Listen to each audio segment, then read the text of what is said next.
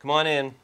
I'm sure you've heard that Governor Paterson's proposed budget will mean severe cuts here at the Bronx Zoo and the New York Aquarium. Next year, all 76 zoos, botanical gardens, and aquariums in the state will lose all of their state funding.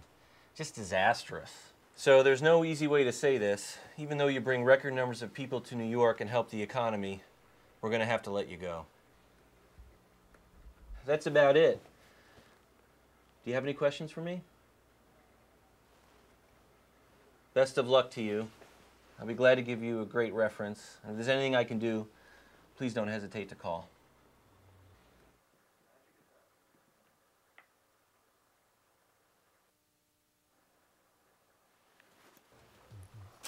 Next.